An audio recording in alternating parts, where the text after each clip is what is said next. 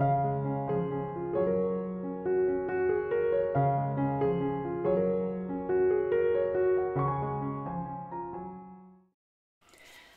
I'm Sharon Bill. Welcome to my YouTube channel. I'd like to take a moment to talk to you about pencils. We are talking about pencils in relation to writing music notation and it's really really important to make sure that when we write music notation it's neat and tidy. Of course if you're doing an exam you need to have your answers neat and clear so that you don't risk losing any marks. And so that of course is a very important thing to consider. But ultimately we write music we are writing music notation to sort of convey our ideas of musical thought onto paper, ideally somebody would need to be able to read these to then be able to play the music that we have written. We are writing music and music needs to be understood to then be played and it's really really important to sort of develop our manuscript skills. It takes time and it takes practice. However, the simplest of things makes all the difference and having the correct pencil is really, really important. It doesn't necessarily have to be an expensive pencil. It's just understanding the pencil that you're using and what works best for you in your manuscript situation. So we're going to be talking about H and B pencils. I have a selection here. Now, I am an absolute stationery hoarder. I would happily have hundreds and hundreds of pencils and pens and paper and erasers. I am a stationery hoarder and I'm happiest of all in a little stationery shop. However, I have had to thin down my stationery supplies to just basically two very simple pencils and an eraser and a ruler. So let's just talk about the pencil options because we have an array of H&B pencils. So I have here quite a selection that we'll talk about in turn. Now my husband is an artist and so I've managed to discuss this over the years in great length. H and B stand for hardness or black. So a HB pencil, which is the usual that most people use, literally a sort of in the middle, a middle hardness middle blackness. And so a standard HB pencil is okay. And if that's all that you've got, great. However, make sure it's sharp. That's the worst thing ever is to have a really blunt pencil. It's just impossible to make music notation neat with a very, very blunt pencil. And so if you've just got a standard pencil, the only thing that you can do is just keep sharpening it. So a HB pencil is in the middle of the spectrum. Now, interestingly, if you're buying, say, for example, a Noris pencil, these are the really famous like school pencils, these are from Staedtler or a, a Daler-Rowney or something like that, one of the sort of more expensive pencils, the HB tends to be kind of standard, but there is no absolute standardised version of what HB actually is. And so if you buy an uber cheap like pack of 100 from the pound shop HB and compare that to say for example still relatively cheap HB this Oxford that came in a little math set I think um, these two HB pencils are massively massively different. This pound shop cheapie is um, super sharp and um, then when you're writing it's also really really hard. And so it really digs into your page.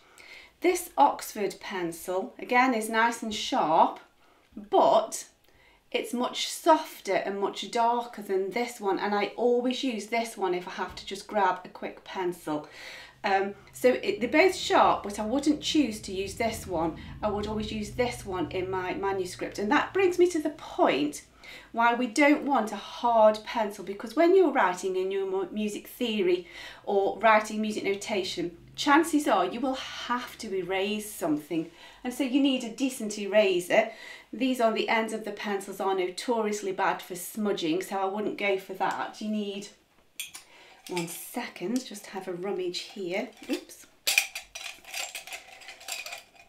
a decent eraser but if you're using a really hard pencil, which this cheapy HB one is, you will inevitably end up with like indentations on your page and you can't rub that out. It's sort of dug into the page, it's chiselled in, whereas this one will rub out nice and neatly. Now I get constantly weary of sharpening pencils and so I always use these mechanical pencils. Now these are some that I've just raided from my hubby's technical drawing stash.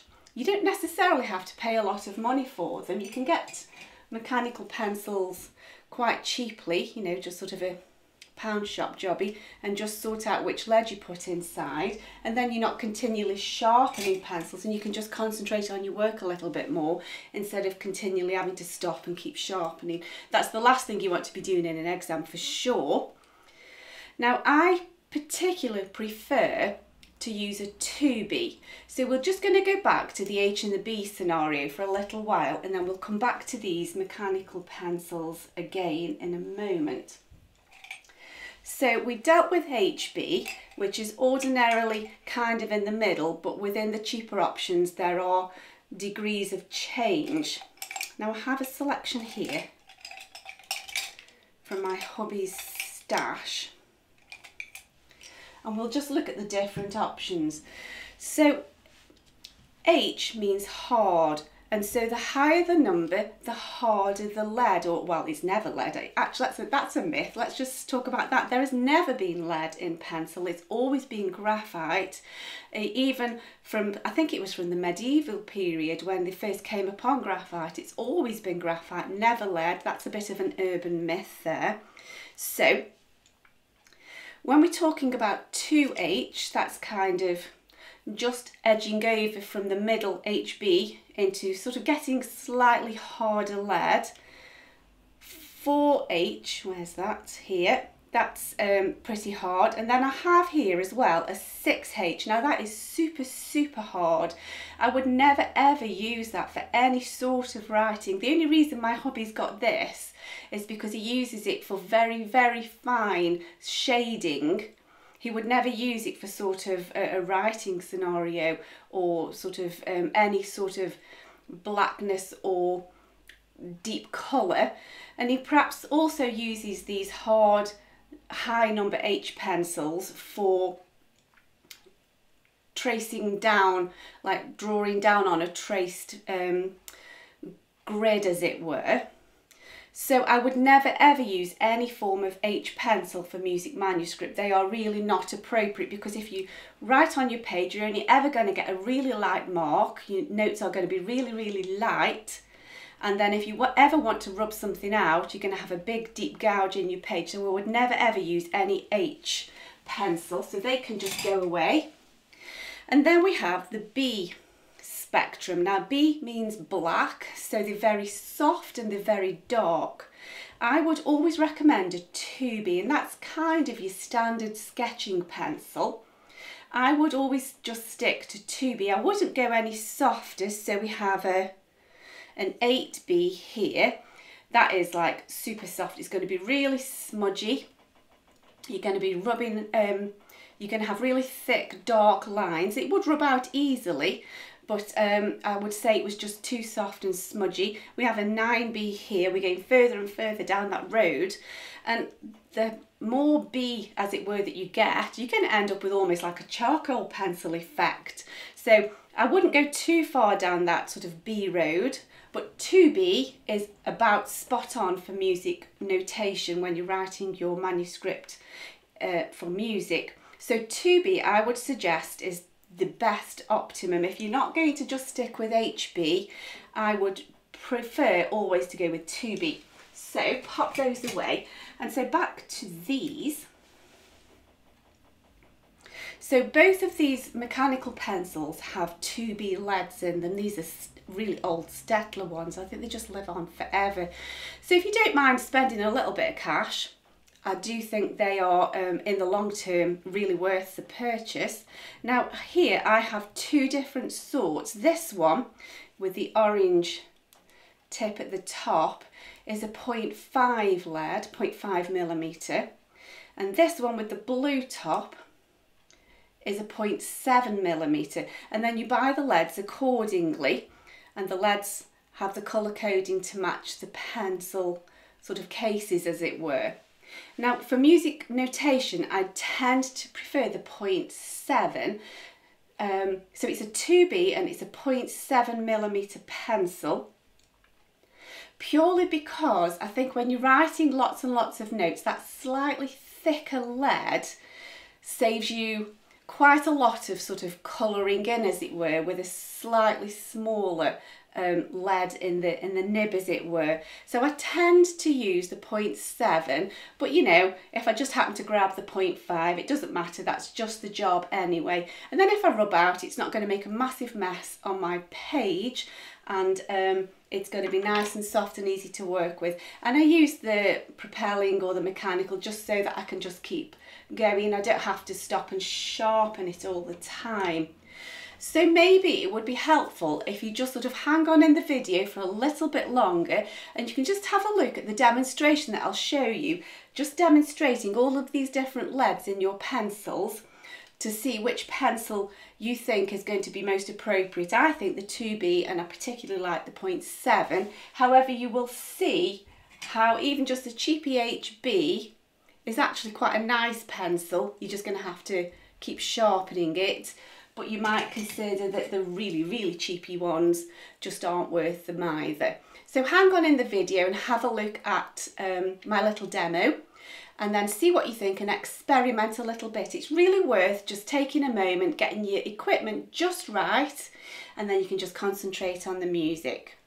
So here we are at the desk. We've got a, a bit of a scientific experiment going on here. So I've got my various pencils. We don't need the ruler, I don't think. So let's start off in the middle with the HB scenario. So this pencil just would not do for writing notation. It's just way too blunt. There you go. You can see that's just like dreadfully messy, isn't it? But so there's our Noris Staedtler pencil. If we sharpen it, I'll just give this a quick sharpen now to show you just the difference a sharp pencil makes. And there we go. That does the job if that's what you need to do. Just keep sharpening it. So that's our kind of mid-range, mid-quality HB pencil, middle blackness kind of does the job generally speaking. Now if we go to the Pound Shop Cheapy pencil, so I'm just going to sort of do another mark next to that. It's okay. It's a little bit darker though, perhaps I pressed on a bit more.